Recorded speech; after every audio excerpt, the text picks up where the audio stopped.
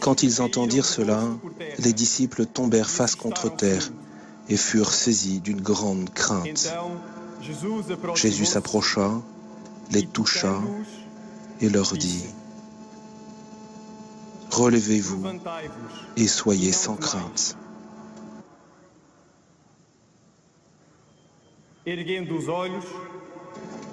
Levant les yeux, ils ne virent plus personne, sinon lui, Jésus, seul. En descendant de la montagne, Jésus leur donna cet ordre. Ne parlez de cette vision à personne avant que le Fils de l'homme soit ressuscité d'entre les morts.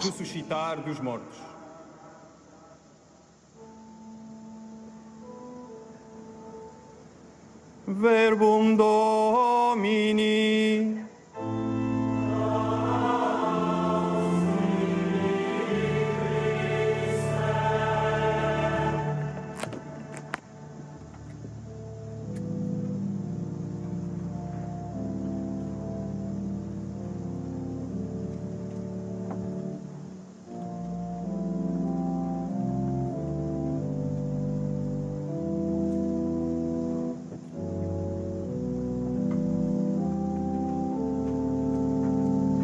C'est le pape François qui va prononcer l'homélie.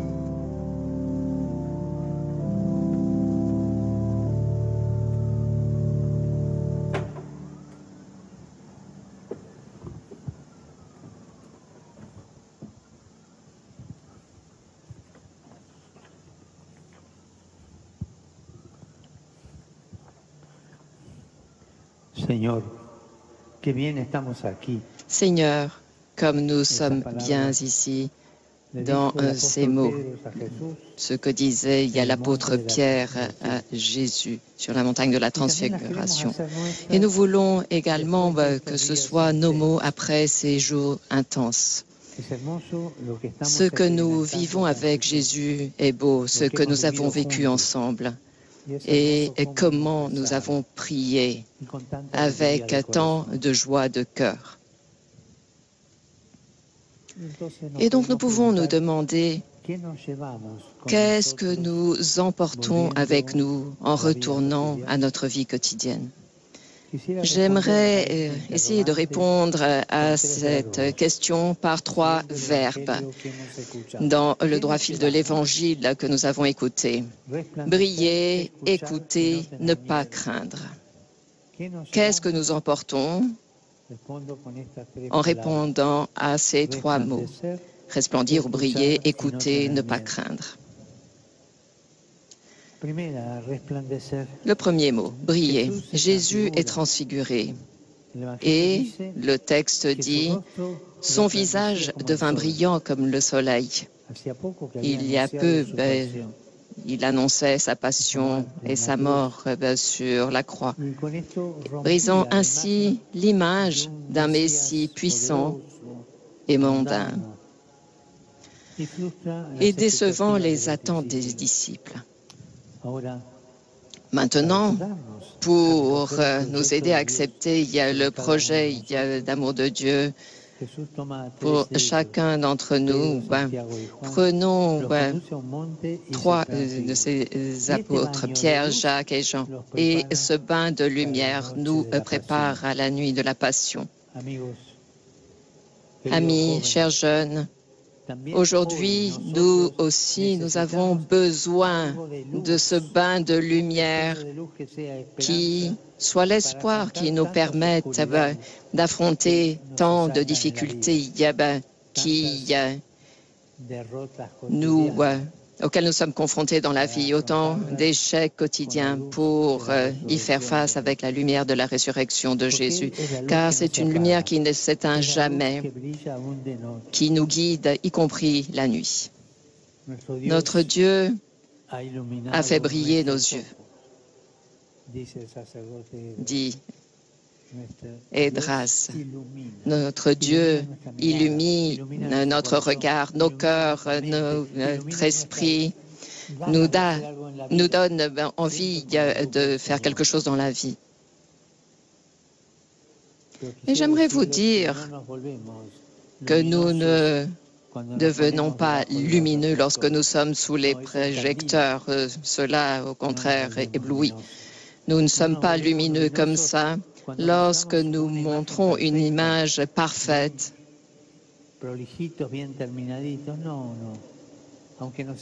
Toute belle. Non, nous sommes peut-être forts euh, ben, et pleins de succès, mais pas lumineux. Nous sommes lumineux, nous brillons lorsque nous accueillons Jésus et nous apprenons à aimer comme lui. Aimer comme Jésus, c'est cela qui nous rend lumineux. C'est ce qui nous permet de faire des œuvres d'amour. Ne vous trompez pas, amis, amis. La lumière vient le jour où tu feras une œuvre d'amour. Et si tu regardes de façon égoïste, là, la lumière s'éteint. Deuxième verbe, écouter. Sur la montagne, une nuée lumineuse recouvre les disciples. Et cette nuée lumineuse dont parle le Père, que dit-elle? Écoutez-le. C'est mon fils aimé, écoutez-le. Tout est dit là. Et tout ce que nous devons faire euh, dans la vie se retrouve dans ce mot. Écoutez-le. Écoutez Jésus. Tout le secret est là. Écoutez ce que Jésus te dit.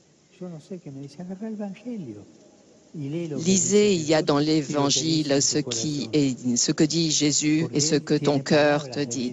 Parce qu'il a des paroles de vie éternelle pour tout chacun, parce qu'il révèle que Dieu est Père, est amour, parce que c'est lui qui nous enseigne quel est le chemin de l'amour. Écoutez Jésus.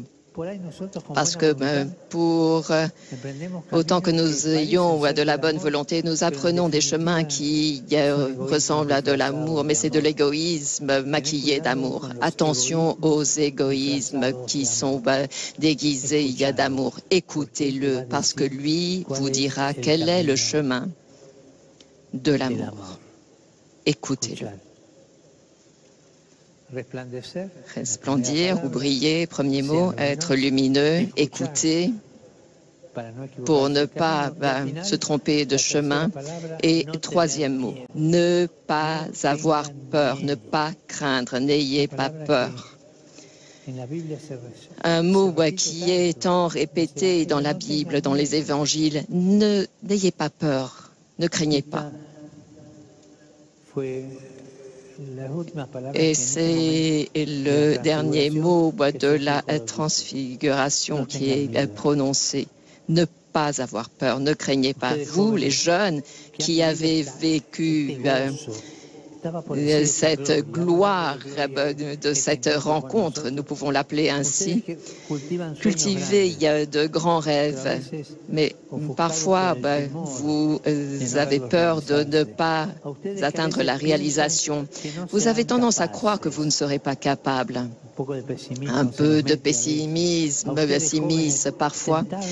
Et à vous, les jeunes, ben, il ne faut pas croire euh, que vous allez échouer ou que vous allez cacher la douleur en masquant d'un sourire.